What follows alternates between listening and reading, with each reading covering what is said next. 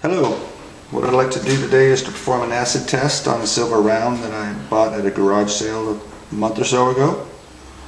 I'm kind of suspicious about it. I thought I'd test it here live in front of you and we'll see how it turns out.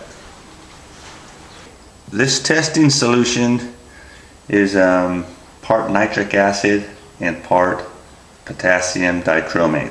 I had to Google that to see exactly what that stuff is and uh, it's pretty bad stuff.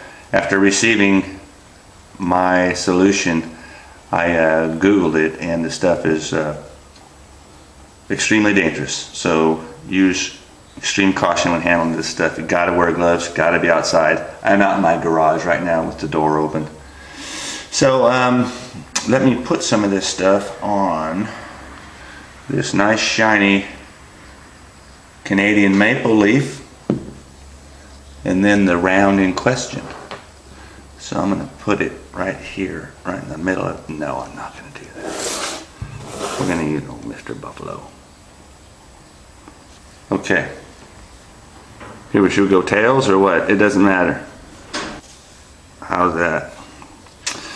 Okay, so it should turn bright red.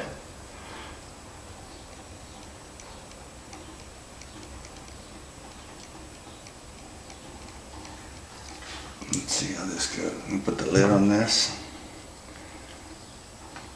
Now that round that I bought was actually a little tarnished. And it's actually looking, well, that's looking pretty good. It looks like I might be okay with it. It's not like you can take this silver solution around with you to yard sales. I mean, what are you going to do? You got to go with your gut. Um, since I bought that round, I went and bought that little scale. Paid 20 bucks for it. Six dollars for the silver solution on Amazon. And um, now at least I know. Kind of ruined them maybe, but um, it looks like they're um, looks like it's a it's a real McCoy. Wow, that stuff is really putting out some fumes. Well, I better wipe those off before it uh, eats through the table. Okay, hey, thank you very much for watching, and we'll talk to you later. Bye.